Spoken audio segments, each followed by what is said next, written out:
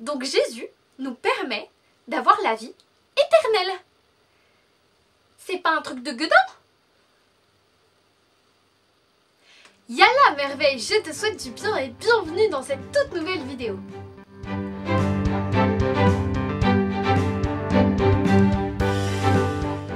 Pourquoi Jésus est mort? Pourquoi il est ressuscité?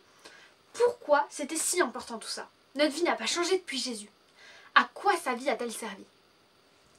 Eh bien, peut-être que notre vie n'a pas tellement changé, bien que ça dépende des personnes, mais notre mort, elle, a bien changé. Je vais vous expliquer tout ça, donc restez bien jusqu'au bout pour tout comprendre. Euh, je vous invite aussi à aller regarder mes deux dernières vidéos si vous les avez pas vues sur la mort et la résurrection de Jésus. Et c'est parti Jésus était annoncé comme le sauveur du monde par les anciens sages de l'époque, les prophètes. Euh, et pourtant, Jésus, il est mort comme un criminel les disciples ont vachement douté parce que comment il peut sauver le monde en étant mort? Surtout qu'ils croyaient qu'il venait les délivrer des Romains alors qu'il est mort à cause d'eux. Pourtant Jésus les a bien sauvés, mais d'une chose bien plus destructrice que les Romains. De la mort elle-même.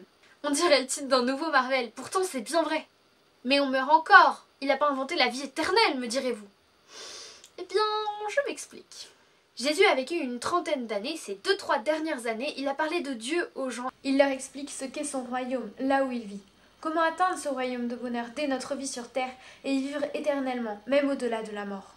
Jésus a été condamné par les juifs qui l'accusaient de se prendre pour Dieu, ce qui est un blasphème dans le judaïsme. Les prêtres juifs ne le reconnaissaient pas comme le sauveur annoncé par les prophètes. Ça a beaucoup dérangé que le sauveur puisse être un pauvre charpentier. On attendait un roi et un guerrier très riche.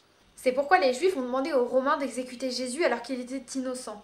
En effet, il n'a jamais fait le mal dans sa vie, il était vraiment le Sauveur, le Fils de Dieu, et il n'a fait qu'aimer même au pire moment à sa mort. Il est mort par la pire torture qui ait existé, il a été crucifié. Et en mourant de cette façon, il est bouc émissaire.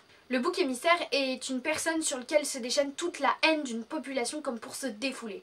L'expression vient d'ailleurs euh, des boucs que prenaient les juifs, ils y mettaient tous les péchés du peuple, tout le mal que faisait le peuple, ils l'envoyaient dans le désert pour qu'il meure et que les péchés meurent avec lui.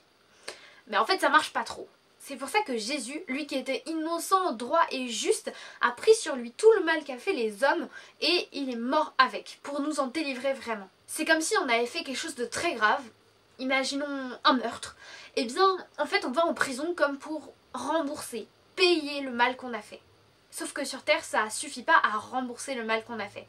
Eh bien, avant Jésus, il fallait bien payer le mal qu'on avait fait pour qu'il y ait justice. Et du coup, après notre mort, on ne pouvait pas aller vers Dieu parce que tant qu'il nous restait un tout petit peu de mal, eh ben, on était coupé de lui. Sauf que pour payer tout le mal qu'on a fait, pour rembourser toutes les conséquences énormes que notre mal a, il faut l'éternité. En fait, on n'est pas vraiment en capacité de rembourser tout ce mal et d'en être vraiment libéré.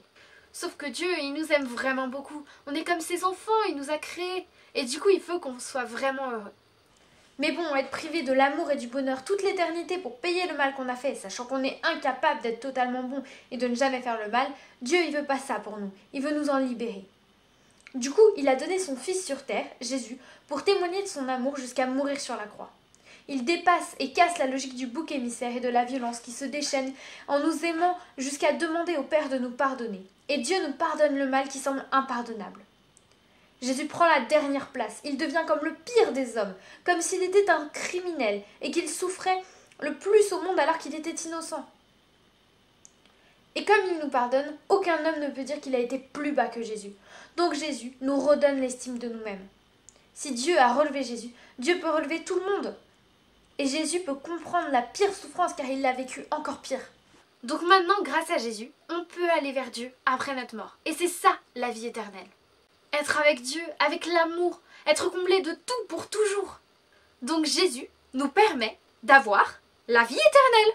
C'est pas un truc de fou truc de malade quoi. Jésus en mourant devient bouc émissaire et paye à notre place toutes les conséquences de notre mal. Il est resté dans la mort trois jours pour aller chercher les autres personnes précédemment mortes et renfermées sur elles-mêmes à cause de leur mal.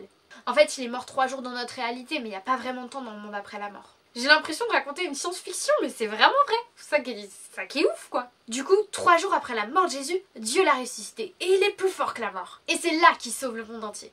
Vous pouvez vous abonner juste là, activer la petite cloche. N'hésitez pas à me laisser un commentaire, mettez-moi un pouce bleu.